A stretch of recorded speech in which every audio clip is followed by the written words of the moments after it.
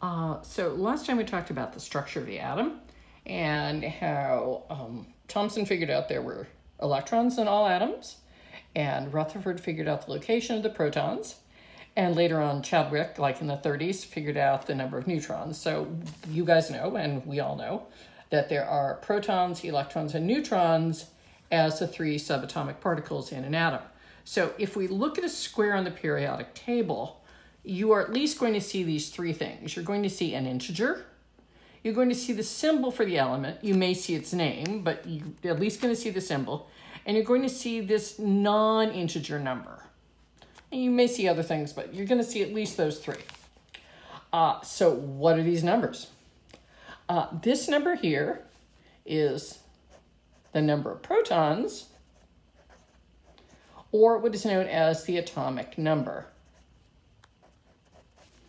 Okay, so the integer value that you see in any element square is going to be the number of protons, otherwise known, known as the atomic number. This non-integer value is something called the average atomic mass, which we will get to next time.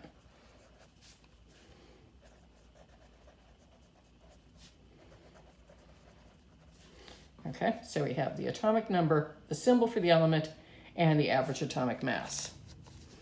Um, so the atomic number, which is always, always, always an integer. Okay, this is not the atomic number. People always get this messed up. It's the integer value, is the number of protons in an element.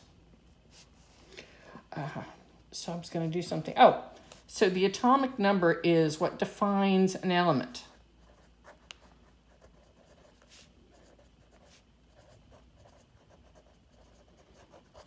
Okay, that's really important. The number of protons or the atomic number defines an element. So if I tell you I have an element with an atomic number of six, I am talking about carbon. That's all I have to tell you is six. If I tell you have an atomic number of eight, we're talking about oxygen. If you have a periodic table, you can connect the atomic number with the identity of the element. Can it change? Can carbon go from six to seven protons? An atomic, an atomic number of six to seven? No, it can't. Something with an atomic number of six is carbon. Sorry if you can't read that, but it says carbon. Something with an atomic number of seven is nitrogen. So when you change the number of protons, you automatically change the element. Um, don't forget that because it's super important for solving all kinds of problems. Um, so there is another number which helps us to identify an element, and it is known as the mass number. Okay, the mass number is also an integer, and it is the sum of the protons plus the neutrons. Okay, protons plus neutrons. Those are the heavy guys. Uh, somewhere later I have that you don't count the electron in the notes, and that's because an electron is about one two-thousandth the weight of either the proton or the neutron. These two are pretty close in mass. So if these both had a mass of one unit, one for the proton, one for the neutron, the mass of the electron would be 1 over 2,000. So it's super tiny. Um, the average atomic mass, this thing you saw up here, the 12.01, is not an integer. And it is, take a deep breath because you have a lot to write, the weighted average of all the isotopes of an element. Okay, average atomic mass, the weighted average of all the isotopes of an element. Now, I don't know if you remember weighted averages, but they take into account what percent of something there is. Like if we did a weighted average of, um, oh gosh, well, never mind. I was thinking if we did an average, a weighted average of people in the classroom with blue, green, and brown eyes. You know, we could figure out what percent had brown eyes, what percent had green eyes, what percent had blue eyes, and then we would average their weights together and could figure out a weighted average based upon eye color for the people in the classroom. Not that we would want to do that, but it is possible. Okay, so if electrons aren't involved, um, because they're too light to matter. What is changing this average atomic mass? What's making it go up and down? or what is causing there to be isotopes. Okay, so the protons cannot change. If we're talking about a particular element, but the neutrons can change. So when we have an isotope, hmm, didn't write that down on the next page. Isotopes are atoms of an element that vary in their mass number or vary in their number of neutrons.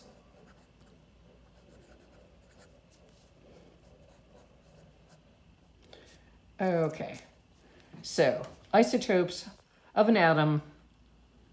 Isotopes are atoms of an element that vary in the number of neutrons. So let's see how we denote isotopes. Okay, here we have um, a symbol for the element, any element. I'm going to use X. And in the upper left-hand corner is the mass number. In the bottom left-hand corner is the atomic number. Uh, these other two areas up here, this section is left for the charge if you have an element. You know, if you have an ion, rather. And uh, down here when we're writing um, elemental symbols, we would put, uh, you know, nothing if it was a one, but two if it was a diatomic element, or if it was an element in a compound. Uh, but generally, you're just going to have these three corners occupied. Mass number on top, atomic number on the bottom, and charge on the bottom with the symbol of the element. So, for instance, if I am looking at carbon, carbon happens to have three isotopes, but right now I'm looking at carbon 12. I can write carbon 12 as a superscript and a carbon and a subscript 6. Sorry, that was a superscript 12. Or I can write a superscript 12, a carbon, and no 6. So why don't I need the 6? Why are both of these equally good numbers or good symbols to write? Um, they're equally good symbols because I know that every single carbon in the world has six protons.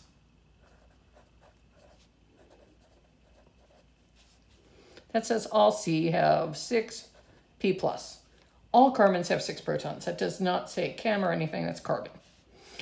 Um, I can't change this number, so I don't really have to put it because I am assuming, and the author of the book is assuming, that you know this and that you have a periodic table if to look it up if you don't know it. So if I have carbon 12, how many neutrons are in one atom? Well, we know the mass number equals the sum of the protons plus neutrons. So I know the mass number is 12 equals the protons, which is 6, plus the neutrons. So 12 minus 6 equals the number of neutrons, which in fact equals 6 for this particular element of carbon. Okay, so let's do one more problem, which isn't too terribly difficult. Uh, we've got barium. And I've just told you that barium has a mass number of 138, and I want to know how many neutrons it has. So you're going to go to the periodic table, and you're going to find that barium has 56 protons. Again, mass number is protons plus neutrons. so the mass number is 138. I've just looked up the protons, so I have 138. Oh, and I've rearranged the equation to solve for the neutrons. So 138 minus 56 and if I do the subtraction, that gives me 82 neutrons. Okay, so we have mass number. This is protons, and that equals neutrons. this is one of my favorite chapters to teach because everybody gets it and it's fun. We've got one more page with a couple little charts to fill out. Okay. Now I said before, carbon had uh, three isotopes. There's carbon 12, 13, and 14. Carbon 14 is used for radiocarbon dating, so if you've taken biology, you know that. And I just want to fill out this chart. Here are the isotopes of carbon, protons. This is supposed to be electrons. Here, I messed it up the first time, and neutrons. we know that for a neutral atom, um, protons and electrons have to be the same. And I know the protons on all of these carbons are six because I've just looked it up on the periodic table And I've been boring you with it for the last 10 minutes. So six, six, and six. That was so hard. Um, now, I know that the electrons have to equal the protons because these are atoms, not ions. So again, six, six, and six. Okay. Now, how about this? I want to know the neutrons. Neutrons are mass number minus protons. 12 minus 6 is 6. Neutrons for carbon 13. 13 minus 6 gives you 7. Mass number, excuse me, neutrons for carbon 14. 14 minus 6 gives you 8. See, isn't that fun? Okay, I think it's fun. Um, now, hydrogen's kind of funky. Let's do hydrogen. Hydrogen is the first element on the periodic table. It has one proton. So this is proton. H2 is called deuterium. It has its own name. Whoops. D-E-U-T-E-R-I-U-M. And hydrogen 3 is called tritium. Your book calls hydrogen 1 protium, but nobody calls it that. But I know they just call it hydrogen. Okay, but these are all uh, these are all isotopes of hydrogen, so they all have one proton. Yay! All right, how many electrons do they have? Well, there's no charge up here, meaning they're all neutral, so they all have to have one electron. See, I told you this was easy. Now, the number of neutrons. Let's go backwards. Tritium, or hydrogen 3, uh, its number of neutrons, mass number minus the protons, that gives me two neutrons. Deuterium, or hydrogen 2, mass number is, excuse me, the neutrons are 2 minus 1, or 1, and regular old hydrogen, most of our hydrogen, uh, the number of neutrons is the mass number minus the proton, minus the protons, and that gives you 0. So hydrogen is the only element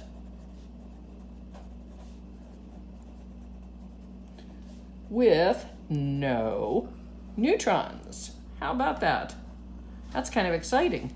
And if you have a hydrogen ion where you've taken away one electron, you are left with a single proton. So H plus is a bare naked proton all by itself.